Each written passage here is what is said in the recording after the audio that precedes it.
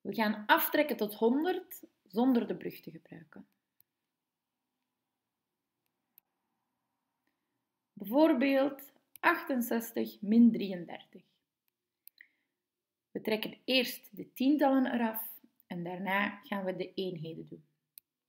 Bij 33 hebben we dus 3 tientallen, 30, en 3 eenheden. Het wordt dus gesplitst in 68 min 30 min 3.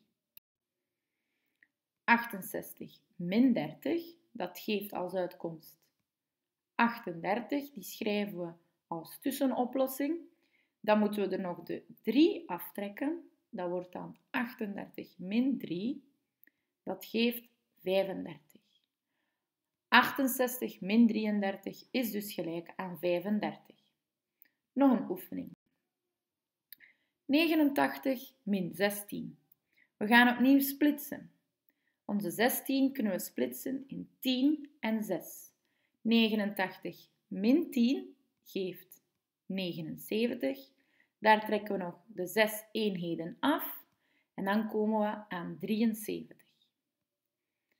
Voilà, 89 min 16 is dus 73. Nu is het opnieuw aan jullie.